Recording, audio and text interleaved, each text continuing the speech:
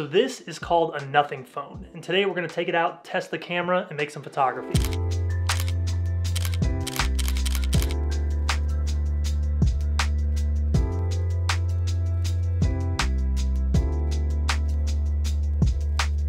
So this video is one I'm very intrigued about because for the last few years I've been seeing videos about this phone on YouTube, primarily on tech channels. It's hard to ignore a phone with a clear back. It's just a very unique and cool looking device if I say so myself. But this isn't a tech channel so I've never had a reason to test it out. But Nothing reached out to me and they said they'd send me their Nothing Phone 1 and they gave me free reign to test the camera capabilities and make my photography with it and they're sponsoring today's video. I mean for real, how can you ignore this? So what we're gonna do today is go out and test this in the streets of Atlanta. We're gonna do a day of photography. It'll probably be about an hour, two hours, and I'm gonna break down the entire creative process behind the photography. I'm gonna do behind the scenes, explain the shots, explain what I'm doing. At the end, I'll break down the edits, tell you my favorite one. This is gonna be kind of an old school video that I used to make on the channel. I saw a lot of y'all's feedback on some recent videos, so if that's what you want, that's what I'm gonna make. But you gotta do me a solid. Let me know in the comments, hit the thumbs up button if you like these creative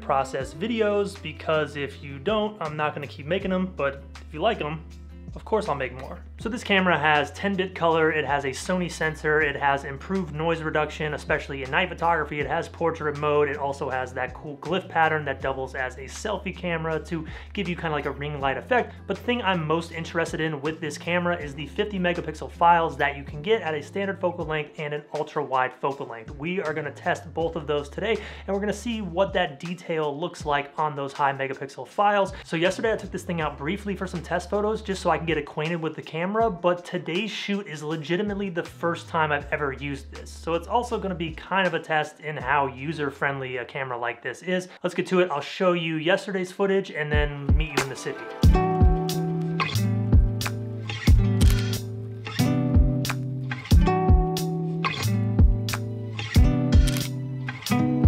So for a lot of the next few locations, we're gonna cheat a little bit on our street photography and Alec is gonna be kind of like a stand-in model to make the shots more interesting. Coming in hot with that voiceover to break down these photos. So I started trying to find a composition for Alec and we wanted to use all these pillars as lead lines, but on a ground level, it didn't look exactly right. So I ran up these stairs and it turned out someone was outside the building, which is what I was hoping would happen here. And their blue shirt stood out way better against this backdrop. So I managed to get a composition that is literally perfect, the exact shot I wanted, but I wanted to get an image of Alec from another angle utilizing the different light and this is what we came up with. That one looks solid, but I like the street photo better. Next we went to this MARTA train station. I had Alec go up this escalator. This composition's a little bit weird. I couldn't figure it out. I'll probably have to come back, but those lines are really cool. Lastly, we found this really interesting light against this stair set. This photo, it's kind of boring, nothing crazy, but but not terrible either. This building looks really cool. I've made a photo here before, so I wanted to get Alec walking out from under the building using the ultra wide lens to capture everything going on. Love the blue color. There's a little bit of distortion on him.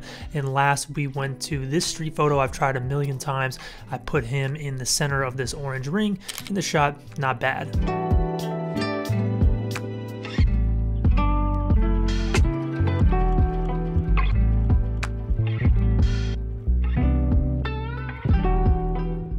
Right, so far so good with the Nothing Phone. This idea of faking street photography is actually a lot of fun. We've already done a few photos that I wouldn't be able to make otherwise. So now we're gonna move to the next location and see what else we can come up with.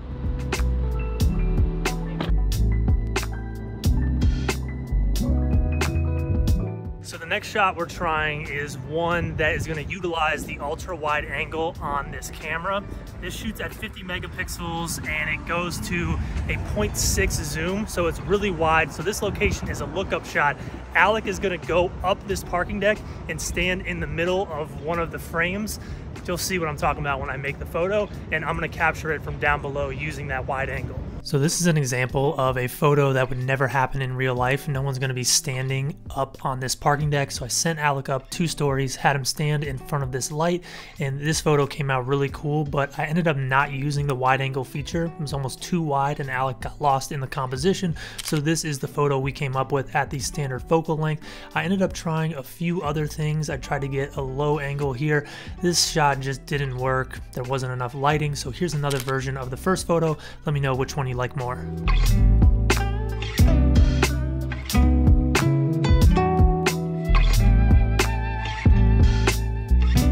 So we are on to the final location of the day. This isn't gonna be street photography. I actually think we've had quite a bit of success trying that. This is just gonna be more interesting locations we've never been to, testing out the camera.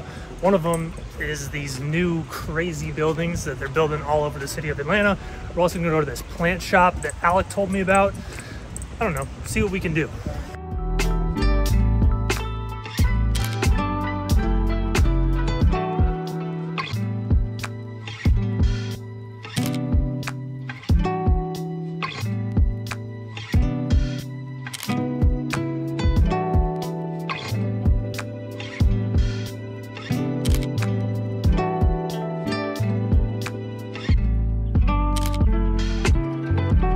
Right, that is a wrap on our one hour. It ended up being like two and a half hours of photography, wrapping it up with the Elixir of Life Beet Juice. Alec, big help today. Make sure you follow him. Let's go home and edit all this stuff. So I just finished editing everything made with the Nothing phone and I'm very impressed by the photo capabilities of this camera.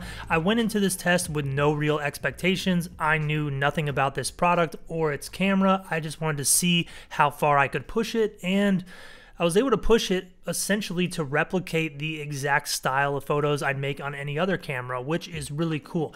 The main feature that caught my attention, it's not really even a feature, I guess, it's the fact that the 10-bit color on these edits held up extremely well. And these photos are all very colorful and they match my normal editing style that you see in other videos using other cameras. And that's not something I expected from a phone camera only shooting JPEGs. The editing capability on these JPEGs, stood up to pretty harsh edits. When you zoom in on the images, there is a little bit of artifacting, which is to be expected, but when you're viewing the images on a phone or a YouTube video like this or social media where they would be posted, you wouldn't even be able to tell. And that is extremely impressive. It's rare that I'm able to replicate my editing style on a JPEG image. Now, speaking of my editing style, this is the editing formula that I used to create the edits on today's photo. It's a variation of all these, but on this photo of Alec, what I did was use my tone curve one. This is my cooler tone curve. It's a starting point I use for all my images. I used color drop, so I dropped the saturation on the colors a little bit, and I used basic adjustments too to bring some contrast contrast into the image. If you don't have my presets and you don't know what I'm talking about, I use a formulaic system of presets so I can give y'all breakdowns of how edits are made in these videos so you can copy them at home. If you don't have those presets, you can check out my free preset. It will give you a similar result to this, not the exact same. You'll have to tweak it a little bit, but that's a great tool if you don't feel like spending money on that, which I completely understand. One last thing I did on this image was I added two graduated filters, one on the left side side of the photo and I darkened the exposure and one on the right side of the photo where I raised the exposure. This allowed me to play off the natural contrast that was already happening in the image. Now, a few other photos that I want to go through and talk about. The colors is still what blew me away. You can tell on the photo of Piedmont Park, both of those images look fantastic, especially the one of the people walking through the field. I love the wide angle shot of Alec walking out of that building. I've made that photo before and one thing that I was surprised by was how sharp this image looked, even though it was on the wide angle lens. At times, mobile photography, when you have that wide angle, has a tendency to kind of distort and mess up the clarity of the image, but the 50 megapixel files on this and whatever's going on when they're writing the files allowed for a lot of sharpness that you can see in these buildings, and I love that. Now the thing is with this Nothing phone camera, it does have the same quote issue that I have with all mobile photography, which is this really sharp digital look that you get with images. Some people love this. I personally don't love it, but it's something that comes with mobile photography, and you can tell with these images when you zoom in on them that they have that same kind of hyper realistic effect. That's just a matter of personal preference. Some people love it, some people, like myself, aren't a huge fan of it, but it doesn't take away from the images. It just is something to be aware of. Now, one last thing that caught my attention on these edits was the camera's ability to handle highlights versus shadows. This is something that is a detriment to mobile photography that I have complained about in the past is this really blown out chunky highlight look and I saw a lot less of that on these images, especially the low light photos like when we had Alec in the car port, whatever you want to call that, parking deck. There we go, that's the word I needed.